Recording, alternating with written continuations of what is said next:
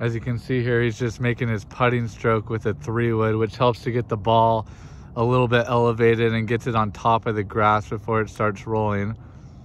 But it's a very simple action, just the putting stroke with a club with a little bit of loft on it. And the interesting part about this is we've heard a lot about the tight lies here.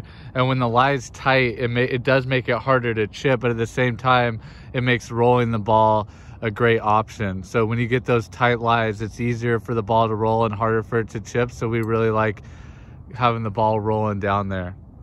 Yeah, and as you can see, these are really easy. They're really consistent. The ball's right down next to the hole. And I really don't feel like I'm doing anything here. I feel like I just kind of stick the three wood up in the air and I stay real still and watch the ball and just make just a stroke through and I allow it to go down there. And that's the idea of what should happen. So putting with loft, using the three wood right here, allowing the ground to kind of take the ball down there. And we like that word spill. It's just spilling towards the hole.